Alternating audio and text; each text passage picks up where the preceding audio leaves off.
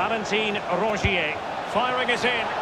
And it is the opening goal of the contest. Well, it was always going to be a tight game, but now all of a sudden one team ahead. Things have got to change on both sides.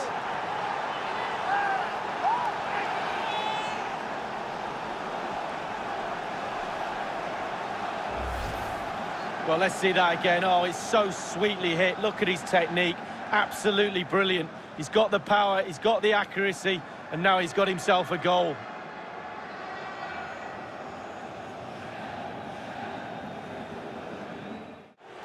Well, time's running out for PSG here, Derek. The fans urging them forward to attack.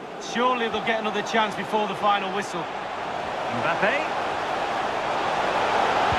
Two makes in the middle. Oh, it's gone in! And you have to feel for it now. It will go down as an own goal. Let's have a look at that again. All defenders look away. Nobody likes to see this.